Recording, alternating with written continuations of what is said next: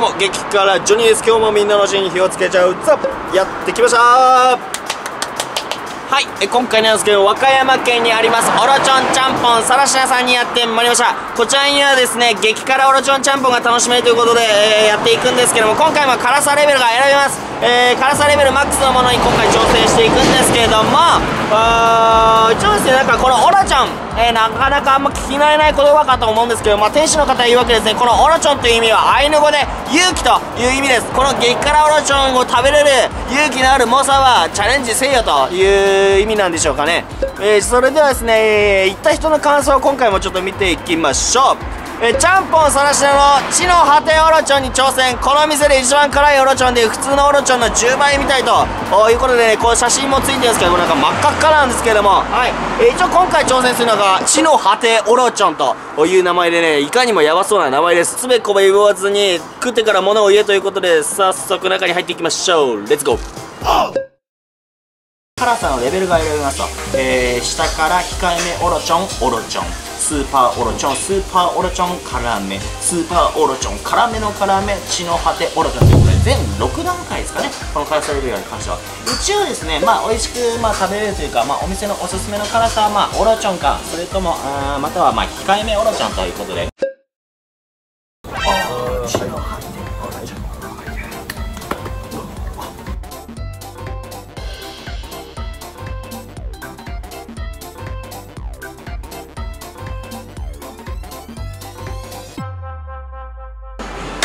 いただきます。さあ血の果てオロチョンお手並み拝見です。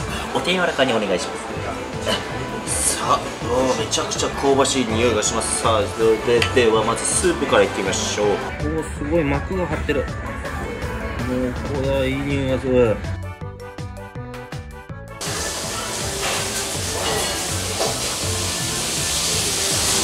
ああばしいうん。これは美味しいね。うまみがこれ美味しい。うん。だしが美味しいスープがたまらねえな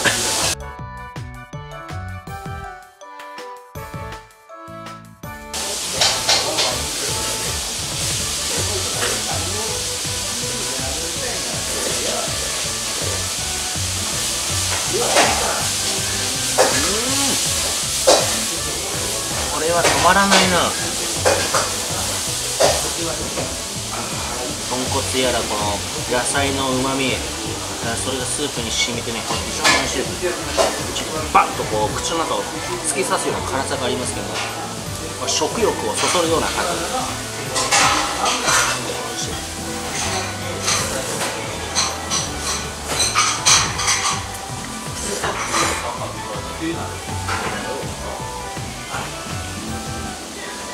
海鮮類の具材も盛りだくさんですね。エビやらイカ。うん。お肉に野菜が。これがたまらないね。えー、一応ねこの辛さの源はね一応こう豆板醤とかねあとラー油で、えー、辛さを、えー、引き出してるそうなんですけど。辛うまい。うん。絶妙のバランスですね。いい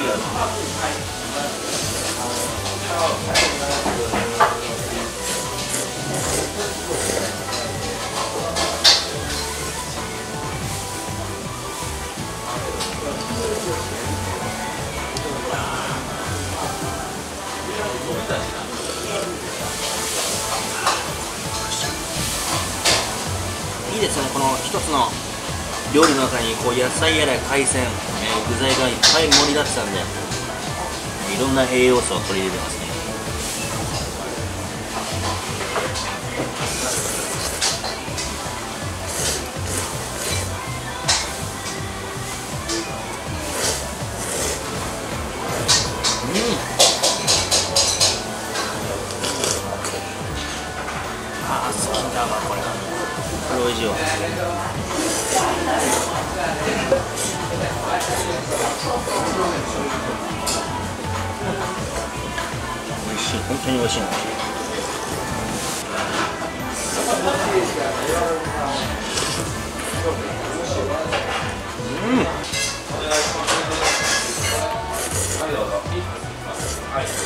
さあえー、3分の2ほど食べ終えたところでこれおいからタイムを切りましょう。本日はですね卓上調味料にあるこの一味唐辛子を使っていきたいかなと思います。まあまあまあおいから程度まあおいからにもなるかぐいですよね。まあ本当にまあ別に足さずともね十分辛いんですけども、ね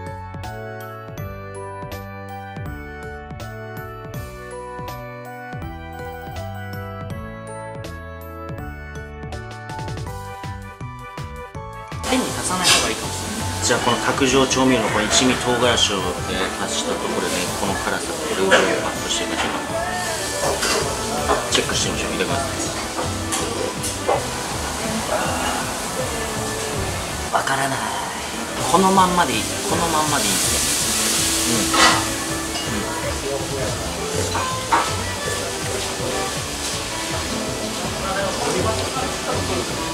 んとどめに差し掛かりますね。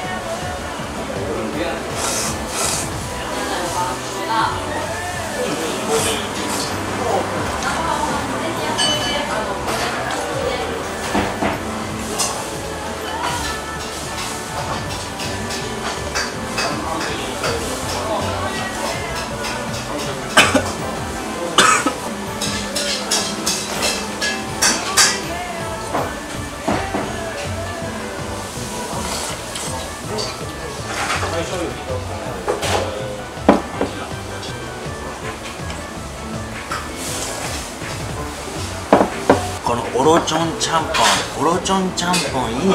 あのー、やっぱ普段ねこのラーメンとか結構食べてますけど味噌ラーメンとか結構味が濃くなってスープとかがこうね黒くなってなんかあんま正直スープとかあんま飲みたくないですけどオロチョンちゃんぽんのこのスープあっさりして飲みやすいですね。ごくごくいけます。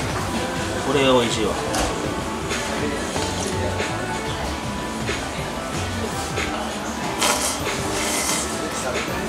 ご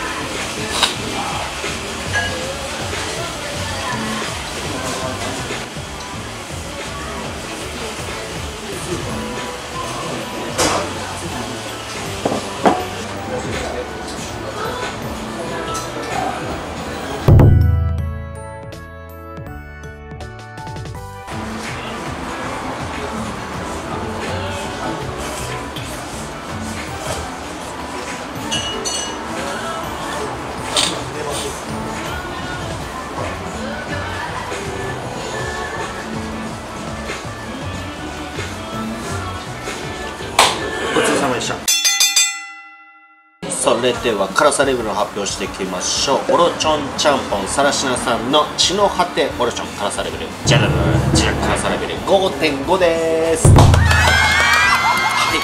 えー、非常にこの豆板醤とラー油のね辛みがパンとパチンパンチンと効いた、えー、メニューです。えー、しかしね、このね、この海鮮系やらこの野菜のね、旨味がスープに染みて、本当にね、スープまでごくごくいける、えー、一品でございます。まあ、そのうまいスープに、この麺が絡みついて、非常に美味しくすすれたのではないでしょうか。辛さが苦手な方はですね、まずはこう控えめオロチョンから、えー、始めて、えー、まあ、徐々にこう辛さレベルを上げてみてはいかがでしょうか。ということで、本日も最後までご視聴いただきありがとうございます。この動画が良ければ、グッドボタン、チャンネル登録よろしくお願いします。あと、今回のですね、えー、裏話的なのを激辛ブログで、え綴ってますので、ぜひチェックの方よろしくお願いします。それではまたお会いしましょう。またね。